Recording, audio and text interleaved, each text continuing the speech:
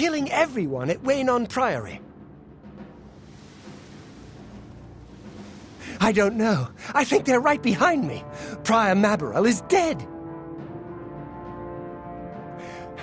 I was in the sheepfold when they attacked. I heard the prior talking to someone.